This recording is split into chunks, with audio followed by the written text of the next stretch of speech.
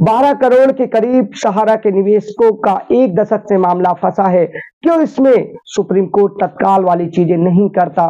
क्या इन लोगों की समस्या गौर हो जाती है या दिखती नहीं है? तुरंत चारों लोकतंत्र के खंभे, चाहे कार्यपालिका हो, न्यायपालिका हो, विधायिका हो या फिर मीडिया, सबको एक सम्मत उठकर सहारा के या अन्य कंपनियों के निवेशकों के हितों की बात, क्योंकि ज़मीन पर लोगों को क्या समस्या होती है? आप बखूबी जानते हैं। समझते हैं, एक साल करीब होने वाला है, पोर्टल चालू हुए। इस पोर्टल से कितनों को पैसा मिला? क्या समस्याएँ हल हुई?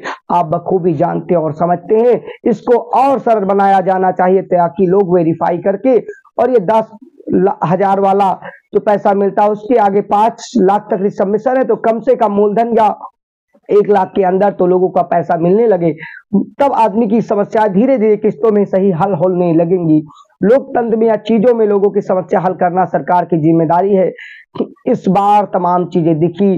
पक्ष और विपक्ष दोनों को लोकतंत्र के मंदिर यानी लोकसभा में आवाज़ उठाने का मुद्दा दिया गया है। और सड़कों पे आंदोलन से पहले लोगों की समस्याएँ हल की जानी चाहिए, ताकि लोगों को समस्याएँ ना हो।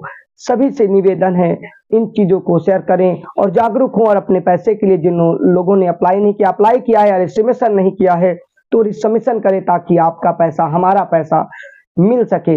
और बाकी देनदारी सरकार की ज़िम्मेदारी होती है। जिन कंपनियों ने नियमों को तार तार किया है, जो भी किया है, उनकी संपत्तियों को अटैच करे, जब्त करे और उसका एक एक पाई पाई निवेशकों का जो कवर होता है, भुगतान कराए। अभी चौबीस हज़ार नौ सौ बारह करोड़ के लगभग सहारा से भी खाते में है और सीआरसीएस को पाँच हज़ार उसी में से दिया गया था। कम से कम पहले वो कराया जाए और तब तक उनका व्यवस्था करके जो संपत्तियाँ हैं, बेच वगैरह जो भी करना है, नियम कानून के हिसाब से सहारा के, निवेशकों के हितों को देखते हुए और कर्मचारियों के हितों को देखते हुए, त्वरित उनका समाधान किया जाए ताकि समस्याएँ नासूर ना बने।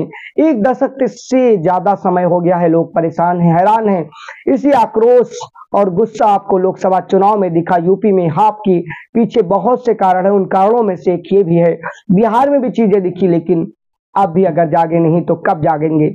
बहरहाल, और जो भी बच्चे सांसद या पक्ष के सांसद, जिन लोगों ने लोगों से वादा किया, उन्हें भी मुद्दा उठाने की ज़रूरत है। एक एक उंगली या एक एक मुद्दा उठाने से एक बड़ी समस्या भी हल हो सकती है और हल करने की ओर अपने अपने दायित्व को हर किसी को निभाने की ज़रूरत है, चाहे वो विधायिका हो, चाहे कार्यपालिका हो या न्यायपालिका या फिर मीडिया। मीडिया के बतौर स्टूडेंट या मास्टर डिग्री के बाद जो सिद्धांत हमने सीखे हैं, जनता की बात करते मैं आपके सामने उन्हीं सिद्धांतों के तहत चीज़ों को उठाते हुए सरकार को जगाने, तीनों चीज़ों को जगाने की कोशिश कर रहे हैं। आप भी सोशल मीडिया पर अपने हक की आवाज़ उठाते हुए सरकार से मांगिए और कहिए, वो उनका दायित्व तो बनता है। लोकतंत्र में जनता मालिक होती बाकी सब पाँच साल के लिए कुर्सी के किराएदार होते हैं। बेशक गठबंधन की सरकार अगर लोगों ने कई राज्यों में तो पूर्ण बहुमत या कहें पूरी की पूरी सीटें, उदाहरण के लिए आप देख सकते हैं, मध्य प्रदेश में उनतीस की उनतीस सीटें, उत्तराखंड में पाँच की पाँच सीटें और इसी तरीके से छत्तीसगढ़ में जहाँ सहारा वालों की समस्या और भी थोड़ी विकराल है, ग्यारह में से दस सीटें, उड़ीसा में इक्कीस में से बीस सीटें, यूपी में हाफ़ के पीछे बहुत से कारण हैं, एक छुट्टा जानवर और बेलगाम नौकरशाही भी बड़ी समस्या है। खैर, योगी जी 27 से पहले समस्याओं को हल कर रहे हैं और बेरोजगारी, पेपर लीक वाली समस्या पर भी कठोर कदम उठाए जा रहे हैं। ऐसा नज़र आता है, अगर ज़मीन पे कदम उठे सही से हल हुआ तो 27 में इसका परिणाम पॉजिटिव दिखेगा।